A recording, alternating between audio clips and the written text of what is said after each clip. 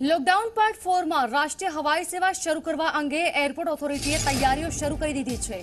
છૂટછાટની શક્યતાને ધ્યાનમાં રાખીને airport authority of ઇન્ડિયાએ મુસાફરો માટે ટ્વીટ કરીને ખાસ ગાઈડલાઈન બહાર પાડી છે. હવે દેશવાસીઓએ કોરોના સાથે જીવવું પડશે ત્યારે હવાઈ મુસાફરી દરમિયાન તમામ મુસાફરોએ આ ગાઈડલાઈનનું ચુસ્તપણે પાલન કરવું ફરજિયાત છે. ડિપાર્ચરના બે કલાક પહેલા એરપોર્ટ પહોંચવાનું રહેશે. મોબાઈલમાં આરોગ્ય સેતુ એપ ફરજિયાત ડાઉનલોડ કરેલી હોવી જોઈએ. તો બાળકોને છૂટછાટ આપવામાં આવી છે.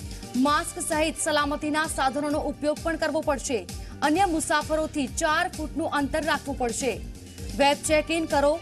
બોર્ડિંગ કાર્ડની પ્રિન્ટ સાથે રાખો. આ તમામ નિયમો બહાર પાડવામાં આવ્યા છે. થર્મલ સ્ક્રીનિંગ ઝોનમાં અનિવાર્યપણે ચાલવું પડશે. તો લેન્ડ કર્યા બાદ બેચ વાઇઝ મુસાફરોને ઉતારવામાં આવશે. લેન્ડ કર્યા બાદ રાજ્ય સરકારની ગાઈડલાઈનને અનુસરવાની રહેશે. સાથે જ રાજ્ય સરકાર અને સ્થાનિક તંત્રને સૂચના આપવામાં આવી છે કે મુસાફરોને પબ્લિક ટ્રાન્સપોર્ટ ઉપલબ્ધ કરાવવામાં આવી.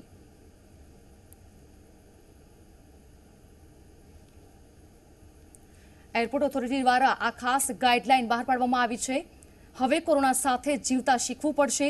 આપણે જાતે જ તકેદારી રાખવી પડશે. ત્યારબાદ એરપોર્ટ ઓથોરિટીએ પણ હવે ટ્વીટ કરીને આ તમામ ગાઈડલાઈન જાહેર કરી છે અને કેટલાક નિયમો છે.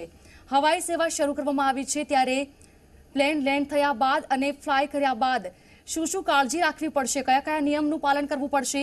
આ તમામ માહિતી ડિપાર્ચરના બે કલાક પહેલા જ એરપોર્ટ પહોંચવાનું રહેશે. આરોગ્ય સેતુ એપનો ઉપયોગ ફરજિયાતપણે કરવો પડશે. દરેક મુસાફરના મોબાઈલમાં આરોગ્ય સેતુ એપ ખાસપણે ડાઉનલોડ કરેલી હોવી જોઈએ. અન્ય મુસાફરોથી ચાર ફૂટનું અંતર રાખવું પડશે. વેબ ચેકિંગ કરો, બોર્ડિંગ કાર્ડની પ્રિન્ટ સાથે રાખો.